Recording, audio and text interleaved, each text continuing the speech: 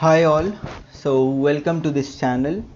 And today in this video session i'll discuss row count row underscore count in sql stored procedures. So basically uh, this is used with the get diagnostic uh, which is part of the error handling in sql stored procedure.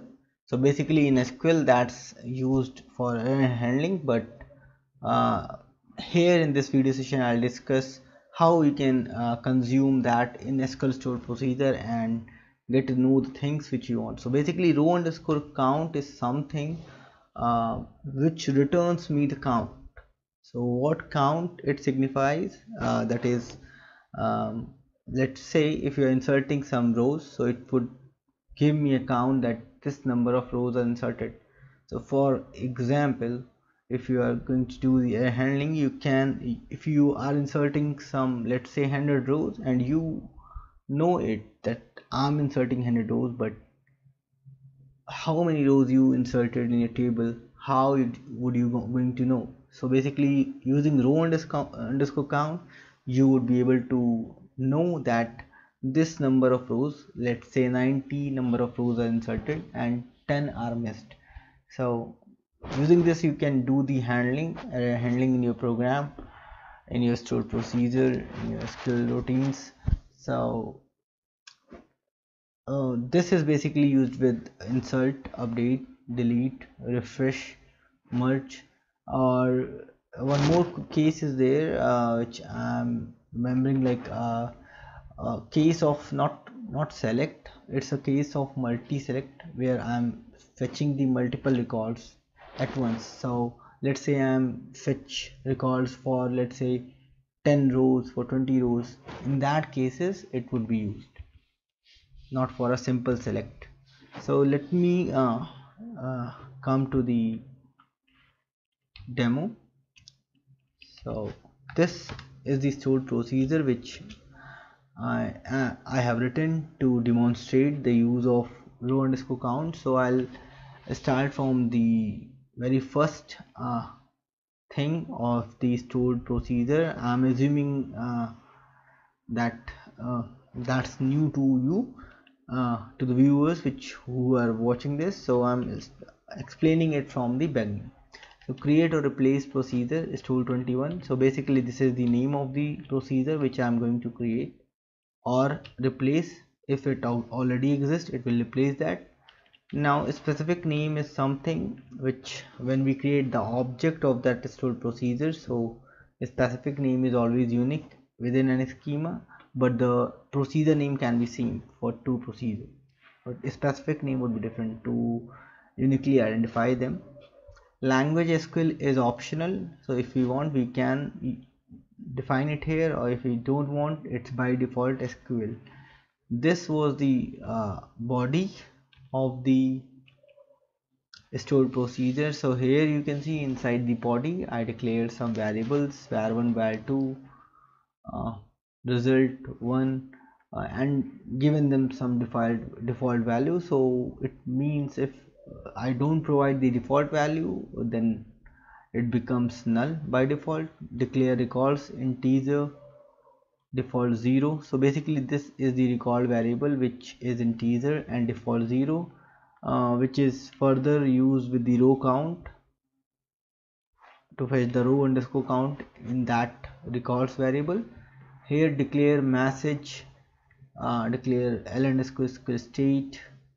So these are something uh, which is not uh, required here but uh, that's a part of the stored procedure. So i am explaining uh, this too.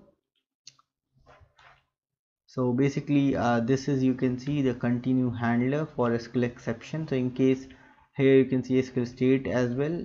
So in case if any exception occurs then it will be activated and it would it will execute this get statement uh, this uh, statements get current diagnostic condition one message and the SQL state so basically when any error occurs in SQL execution it would give me this message and the SQL state. So it is required because I am going to insert if in case any error occurs it would be captured here. And if it is successful we'll get the count from here as well. So both the things are okay and okay to use. So you can see I'm just setting the array s1 equals to var1 by var2 so basically var1 is 1 and divided by 0 so here comes the data mapping error. So divide by 0 which is now that this statement results in the execution of the continue handler. So the process the stored procedure will continue to execute uh, with further executable lines uh, since continue handler is used for the SQL exception so once exception occurs on this line it would execute this and it would now we will have the message and the SQL state why the error occurs. Now after that you can see insert is there which is uh, we can see this file is not present so we'll get the uh, diagnostic information from here. So once this executed the block uh, control goes to this continue handler because that's an exception.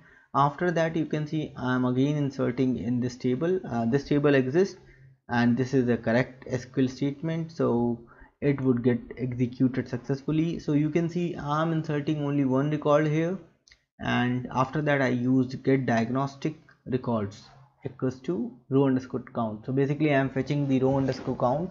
So whatever number of rows which are inserted here or if I would have used update or delete something then that number of count that number of rows count would be retrieved in the records variable which is declared in this stored procedure as integer whose default value is 0 now after that you can see uh, I'm again inserting with uh, multiple records let's say this time two records I'm inserting like this and then again getting the diagnostic information. That is how many number of rows are inserted. So basically this I'm getting from row underscore count into the records variable. And that's the end of the body of stored procedure SQL stored procedure and end of the stored procedure as well. So let's save this and let's compile this. Run sqlstm stored 14 sorry yeah, here comes the source file name. Stored proc. Here comes the library. Here comes the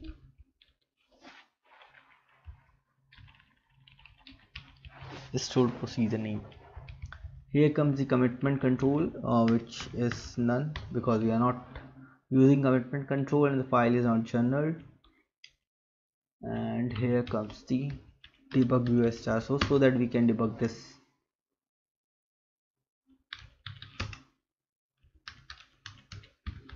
Stored 21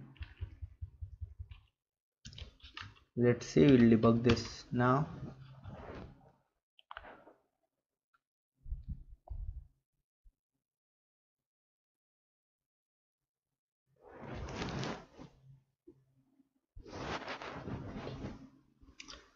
oh, now we'll set the breakpoint now let's call it. So either I can call it from here or we can call the same from SQL as well.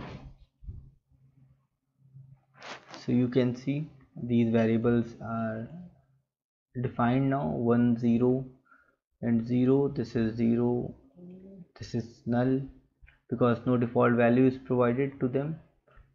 Again it's null. Now you can see once this gets executed uh, we'll get the error. So that error would be captured here because after execution of this line the control goes here and this would execute the uh, this query uh, inside the begin or end block. So let's say what's there in the message. Just do f11 on message and then press enter. So you can see data conversion or data mapping error. The same way just do f11 on l underscore SQL statement then press enter. You will see the SQL state or you can directly check it here. Just do f11 here or f11 here. After that uh, you will see once I execute this insert statement as you can see just to shift 8 so this message got changed. Let me show it here directly. This file in library type star file not found. Here as well SQL state got changed. After this uh, this got executed successfully. And you will be observing the row count here. So row count is one. So records is one. So basically one row got inserted in the table and if I execute this line and after this you can see record is 2 so basically this will insert two lines uh, two rows sorry. So as you can see now that using uh, row underscore count with the get diagnostic error handling you will able to get uh, how many number of rows inserted into the table. So if in case your SQL statement was of update or delete something else like refresh or merge or the multi SQL multi select then you will be able to uh, get the count how many rows inserted how many rows updated how many rows deleted how many rows refreshes or the how many rows merge or how many rows uh, fetched when we are doing the performing the multi select actually. So this way uh, this is very useful uh, when we want such information uh, using the um, SQL func SQL, SQL thing. So we can use row underscore count with the diagnostic get diagnostic thing. So I think uh, that's a benefit for uh, us. Let's just do end debug and let me tell you we can call it from here as well. We can directly call that procedure call store 21 so if I show you data you can see the data got inserted. Let me delete this data. So there is no data now. Let's call it from here as well. Store 21 oh not 2 21 so this gets called. So you can see how this was the first record which gets inserted and on the second insert the two records gets insert, inserted like this. So, uh, that's what the output is. So here you uh, got to learn about the row count in SQL stored procedure. So that's all. Thank you and have a nice time